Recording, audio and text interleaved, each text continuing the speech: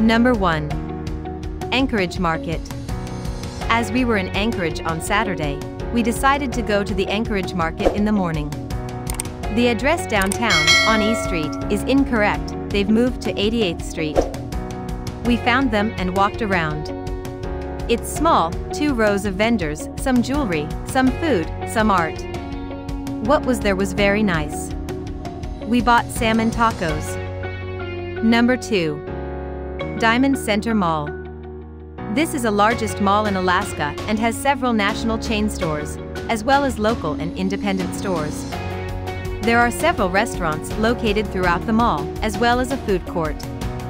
Entertainment-wise, there is a theater, ice rink, and bowling alley. A YMCA fitness center is located in the mall, as well as a professional office wing. Number 3. Northway Mall. I often take my grandson to walk around the Northway Mall. It's good exercise and so many places to shop. All the shop's employees usually smile and say hello. It's always clean and they often have some kind of activities or shows there. Excellent food spots to eat. There are more open stores than closed stores. Not much going on. Number 4. Midtown Mall. Great shopping and dining in the heart of Anchorage. Anchored by Nordstrom Rack.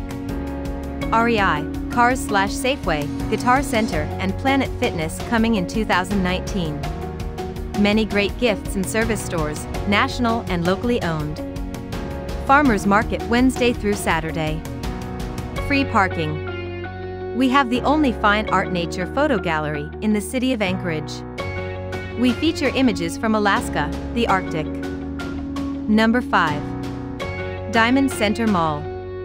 This is a nice indoor shopping mall that features the typical mall stores, clothing, gifts, technology, restaurants, and different entertainment venues. It is clean, bright, and airy. There is ample free parking. This is a clean, well-maintained mall with a wide variety of stores, restaurants, and entertainment options. There is ample parking. Number 6. Sevigny Studio. I love this store. You could tell everything in the store was meticulously considered and overall resulted in such a beautifully curated selection of artists and their goods.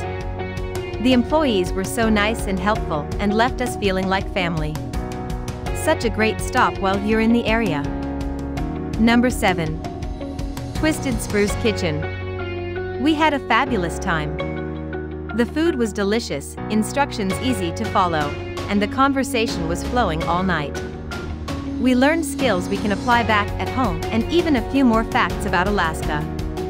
I highly recommend Twisted Spruce for a fun, different night out in Anchorage. You won't be disappointed. Number 8. Lazy Dog Antiques and Collectibles. I went expecting the usual crowded, dusty antique store. But this store is well organized with many true Alaskan items from ivory carvings and jewelry to artwork to dolls and toys to typical lower 48 antiques. The prices are very good, and if you love Alaska and antiques this is the place to visit. Number 9. Alaska Native Craft Shop.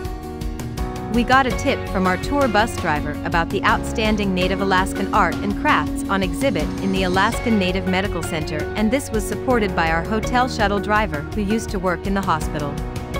We stopped by and were amazed with the beautiful and tastefully exhibited works of native crafts and art throughout each floor of the hospital and the very wonderful pieces of native art in their small craft store. Number 10. Two Friends Gallery. Skip the cheap souvenirs, pay a little bit more, and take something original home from here. I dropped a $150 with ease on some beautiful earrings my twins can give mom for Mother's Day. They had lots of glass art, painted media, clothing, jewelry, and much more. Go there. You won't be disappointed. Hope you like this video for more videos please subscribe to our channel.